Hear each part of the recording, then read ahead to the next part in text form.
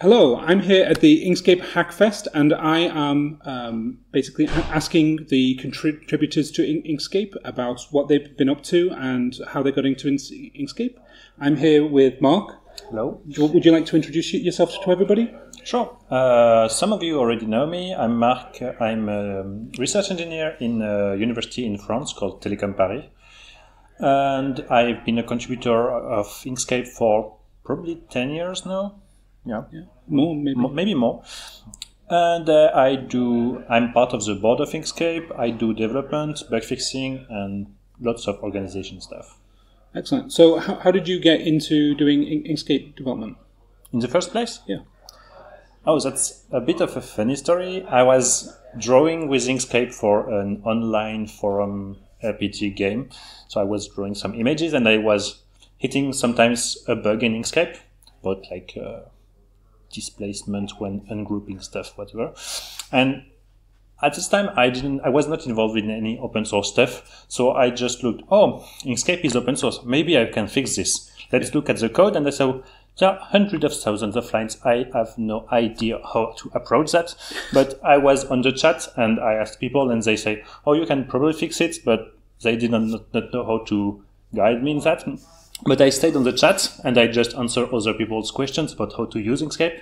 And after one or two years, when I went into enough discussions around Inkscape, I finally had a glimpse of how the code works. So I, so I thought maybe it's time that I fix it, and at this time I fixed it. So, So that it, was so it took you a while to get into the community Yeah. and, and sort of get familiar.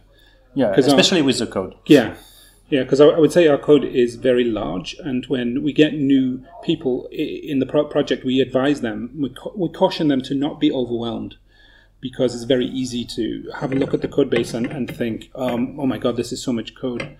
Um, and at the same time, we say just focus on the thing you want to fix, and then when you need help, ask. Yeah. Um, so, so since since that time, do you think that uh, we have in the project become better at mentoring and Yes, definitely. Because now, if new people come into the project, I feel that there is much more people to answer questions about. Oh, I want. I noticed this. I want to fix this. This is like. I I feel like we always have people on the developer channel to answer. Oh, this is probably in this folder or in this file, and this function takes care of this. And basically, we have much more developer activity in the chat now. Yeah. So, what, what do you work on on Inkscape now? Uh, do you, do you, do you um, have responsibilities inside of the Inkscape project beyond in, on the code? Uh, so I sometimes do stuff on the code. I also do some code reviews sometimes. Uh, my main responsibility now in Inkscape are probably in the board and in the organization of the developer uh, group. So I'm part of the Inkscape board, which means that I vote on decisions on basically how the Inkscape project spends its money and how the Inkscape project as a project organizes. So big organizations or spending decisions. And uh, we also organize uh, regular developer meetings just to talk about what developers do and how we can help one another and what needs to be done and what, what needs to be looked at or reviewed or how do we function better as a development team.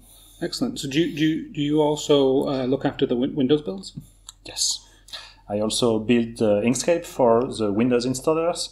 I do most of the stuff around the, the build system, so making uh, at the same time making releases for some platforms and also how to build Inkscape, making sure that the scripts work, that they, it's easy to build Inkscape and from the code to get uh, proper binaries. Excellent. And, and you also put those into the Windows Store, right? Yeah, uh, from the Inkscape installers, uh, I try to make stuff into the Windows Store, which sometimes works and recently has was broken. But Ah. that's another issue. Yes. If you notice that with the Windows Store doesn't have the most recent release, that's normal and that's kind of my fault, but mostly Microsoft's fault. They're big enough and rich enough to, to take, Yes. take, take the blame. yes, but they, their scripts do not work. Okay. Um, so, wh- where do you see yourself in Inkscape go- going forwards?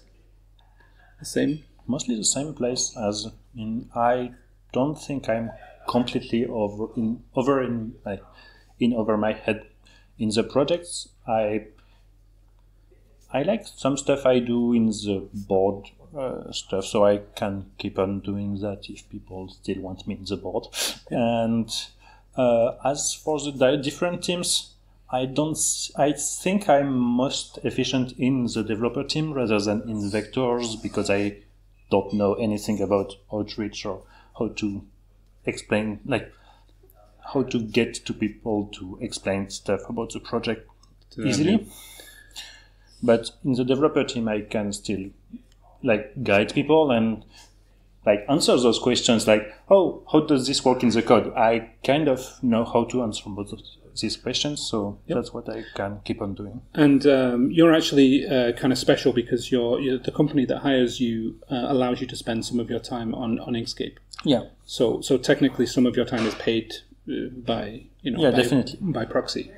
Uh, Yeah. whereas most people are like thoroughly volunteer. You're like a volunteer, but but yeah, yeah. I, I used to be just a volunteer during my, my studies mostly, and now that I'm employed at a public university, I asked my managers if I could spend some time on Inkscape, and that's kind of on my yearly uh, assignment things. your assignment. Yeah, Yeah. that's that's really cool because it's basically ba- even in this Hackfest, I'm here on a company. t- on, on, on your institution. Yeah, excellent. Well, thank you very much for talking to me. Thank you, Martin. Excellent.